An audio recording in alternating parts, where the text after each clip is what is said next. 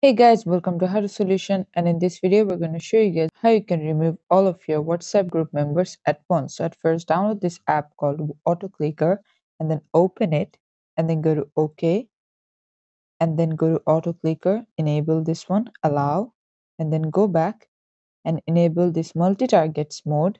Now go to WhatsApp into the group that you want and then tap on this one and then go to group info from there, go to participants list. Now what you have to do is see when I tap on this one and it says remove this one here. So basically like that, what I have to do is tap on this plus button and click on here and then tap on another plus button, which would be here.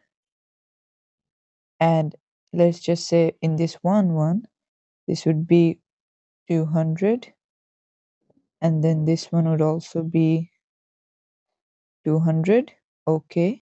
And then if I tap on remove it says the third one where it says okay so plus 3 and then tap on this one and then make sure this one is 250 and then okay.